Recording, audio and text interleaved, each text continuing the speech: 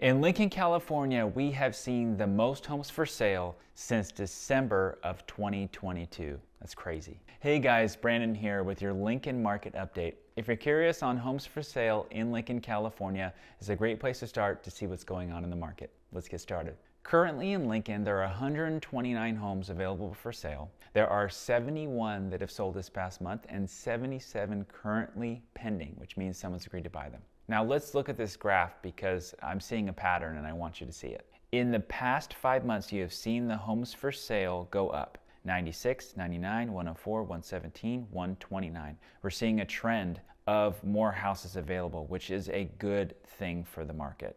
And 129 is actually the most homes for sale since December of 2022. So we may continue to see those numbers rise to get to the later end of last year when we saw homes uh, almost at 200. Price per square foot is at $332, which is down $4 from last month. Sold price versus list price is down for three months in a row. Now, this is common. If you look at the graph, you can see this time last year, the same thing happened. It's totally a cyclical thing.